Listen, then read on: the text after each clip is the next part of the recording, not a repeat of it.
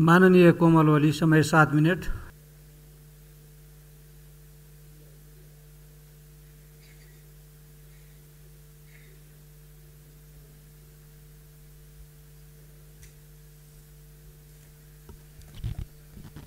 सम्मान्य अध्यक्ष महोदय विनियोजन विधेयकका विभिन्न शीर्षकमाथि मन्त्रालयहरूका विभिन्न शीर्षकमा बोल्ने क्रममा म यहाँ उभिएकी छु। सरकारको नीति तथा कार्यक्रम त्यस अन्तर्गत आएको बजेट र बजेट अनुसारका विभिन्न मन्त्रालयले ल्याएका कार्यक्रमहरू हामीले पढिसकेका छौँ हेरिसकेका छौँ र त्यसै अन्तर्गत केही सुझाव केही धारणा र केही मागहरू यसमा म राख्न चाहन्छु। सर्वप्रथम आजका मन्त्रालयहरूमध्ये मेरो वन मन्त्रालयमा केही कुरा राख्न चाहन्छु। नेपालको पैँतालिस प्रतिशत भूभाग वनले ओगटेको छ।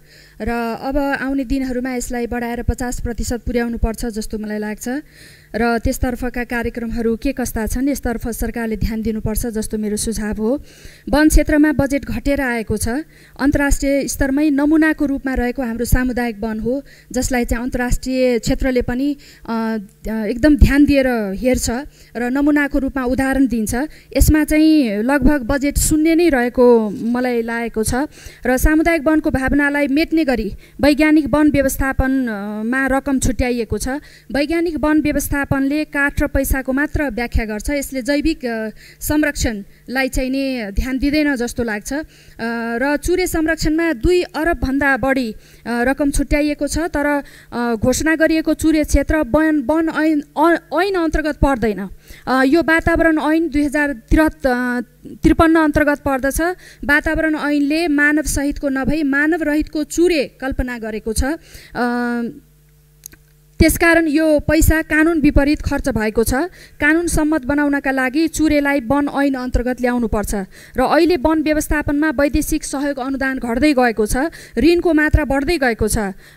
हामीले वातावरण जोगाए बापत अनुदान पाउनुपर्ने रकमलाई ऋणको रूपमा होइन अनुदानको रूपमा पाउनुपर्छ भन्ने मेरो कुरा हो। यसै गरी महिला बालबालिका र समाज कल्याण मन्त्रालयमा केही कुरा राख्न चाहन्छु। सम्मान्य अध्यक्ष महोदय ज्येष्ठ नागरिकको सम्मान सेवा सुविधा स्वास्थ्य उपचार विशेष रूपमा ध्यान दिनुपर्छ।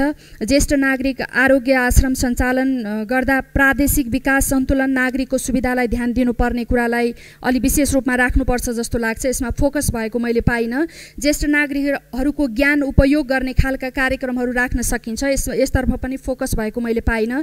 छाउपडी बाल विवाह दाइजो प्रथा तिलक जस्ता कुरीति र कुसंस्कार हटाउने कार्यक्रमहरूमा जुन किसिमले आउनुपर्ने हो त्यस किसिमका कार्यक्रमहरू आउन सकिएको छैन। अपाङ्ग असहाय दलित महिला तथा बालबालिकाको संरक्षण राज्यको दायित्व हो। त्यसका लागि पनि स्पेसिफिक कार्यक्रमहरू फोकस गरिएको मैले पाइनँ। दाङमा वादी समुदायलाई आत्मनिर्भर बनाउने खालका कार्यक्रमहरू ल्याइयोस् र गैर सरकारी सङ्घ संस्थाहरूलाई नियमनका लागि चाहिँ कार्यक्रम आवश्यक छ यसको संयन्त्र निर्माण गर्नु आवश्यक छ। कुन स्थानमा कस्तो खालको गैर सरकारी संस्थाहरूले काम गर्न पाउनुपर्ने हो यसमा चाहिँ सरकारले नियम बनाउनुपर्छ जस्तो लाग्छ। किनभने जो पनि जहाँ पनि जस्तो अवस्थामा पनि काम गरिरहेका छन् संस्था चलाउने नाममा म श्रम तथा रोजगार सामाजिक सुरक्षा मन्त्रालय अन्तर्गत पनि केही कुरा राख्न चाहन्छु। यो प्रत्येक वर्ष पाँच लाखमा रोजगारी सिर्जना गर्नुपर्ने पाँच वर्षभित्र वैदेशिक रोजगारमा जान नपर्ने अवस्था कसरी सिर्जना हुन्छ यसका विशेष कार्यक्रमहरू खासै मैले पाइनँ त्यसमा। प्रधानमन्त्री रोजगार कार्यक्रमलाई व्यापक बनाउनुपर्छ दस करोड विनियोजन रकम विनियोजित गरिएको रहेछ। मलाई लाग्छ यो धेरै कम भयो जस्तो लाग्यो। र विदेश पठाउने दलालहरूले ठगी गरिरहेका छन् नेपालीहरू विदेशमा अल्पत्र परिरहेका छन् दैनिक कफनमा लासहरू आइरहेका छन्। अब दक्ष कामदारहरू पठाउनेतर्फ चाहिँ विशेष ध्यान दिनुपर्छ जस्तो मलाई लाग्छ। र सबैलाई सिप विकास तालिम दिने सामाजिक सुरक्षा कार्यक्रमहरूलाई व्यापक बनाउनुपर्छ जस्तो लाग्छ। र त्यसै गरी म अर्थ मन्त्रालयमा पनि केही टिपोटहरू लिएर आएकी छु। सम्मान्य अध्यक्ष महोदय अर्थमन्त्रीज्यूले आठ प्रतिशतको आर्थिक वृद्धिको लक्ष्य राख्नु भएको छ। त्यसका लागि लगानी बढाउनुपर्छ होला। वैदेशिक प्रत्यक्ष लगानी आकर्षित गर्ने नीति चाहियो। त्यसतर्फ फोकस नभएको हो कि ब्याङ्कहरूले डिपोजिटमा ब्याज कम दिने ऋणमा बढी लिने गर्छन्। यसमा लगाम लगाउनु पर्यो जस्तो लाग्छ। मौद्रिक नीति आउँदैछ हाम्रो। सरकारको आर्थिक नीति र उद्देश्य पुरा गर्ने गरी लगानी बढाउने प्राथमिकता प्राप्त क्षेत्रमा अब लगानी गर्ने किसिमको मौद्रिक नीति जसलाई हामी विस्तार विस्तारकारी पनि भन्छौँ क्यारे त्यस्तो नीति ल्याउनु पर्ला। अर्थमन्त्री आफै यसमा स्वयं जान जानकार पनि हुनुहुन्छ। राजस्वको लक्ष्य ठुलो र महत्त्वाकाङ्क्षी छत्तिस दशमलव पाँच प्रतिशत छ। चुहावट बढी छ। नियन्त्रण गर्नु पर्यो करको दायरा बढाउनु पर्यो दाङको लमहीमा करदाता सेवा कार्यालयको आवश्यकता छ। यसमा यसको माग गर्छु। सबै कारोबार व्यवसायीहरूले कर तिर्ने वातावरण सिर्जना गर्नु पर्यो र भन्सारमा रहेको चुहावट मूल्याङ्कनको समस्या समाधान गरेर राजस्व बढाउनु पर्यो सबै स्थानीय तहमा ब्याङ्क पुग्नु पर्यो सेयर बजारको समस्या के हो? समाधान कसरी हुन्छ र कहिले हुन्छ र दसैँमा रकम जुन नगद नोट हामी दिन्छौँ यो नयाँ नोटको अभाव हुनु भएन। अहिलेदेखि नै यसतर्फ ध्यान दिनुपर्छ जस्तो लाग्छ र म अन्त्य अन्त्यमा आइसकेकी छु। सम्मान्य अध्यक्ष महोदय सहरी विकासमा मेरा केही कुराहरू छन्। एसियाकै ठुलो सुन्दर सहर सुन्दर उपत्यका हो दाङ। अन्तर्राष्ट्रिय स्तरको सम्मेलन केन्द्रको आवश्यकता छ। गरिब परिवारलाई घरवासको व्यवस्था सुकुम्बासीको व्यवस्थापन र आवासका कार्यक्रमहरू खासै फोकस गरिएको मैले पाइनँ। मध्य पहाडी लोकमार्गमा दसवटा सहरहरू विकास गर्नेतर्फ बजेटले फोकस गर्नु पर्थ्यो त्यस्तो गरिएको देखिएन। बागमती सुधारमा लगानी धेरै छ तर त्यस अनुरूप उपलब्धि हुन सकेको छैन।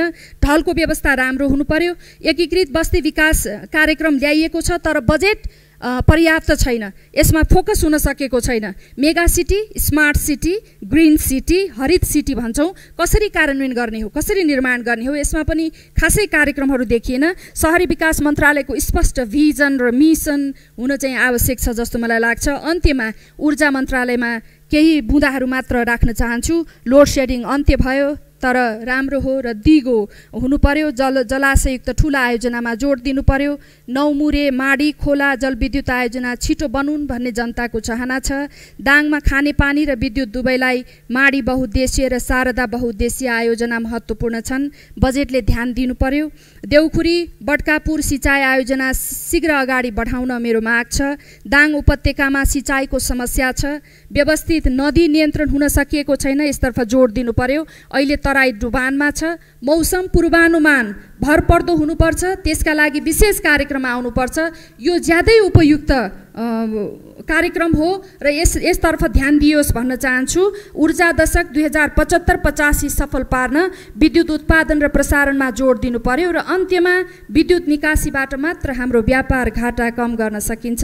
यसलाई बजेटमा फोकस गरियोस् भन्ने मेरो अनुरोध हो। यति भन्दै मेरा धारणाहरू अन्त्य गर्दछु। धन्यवाद।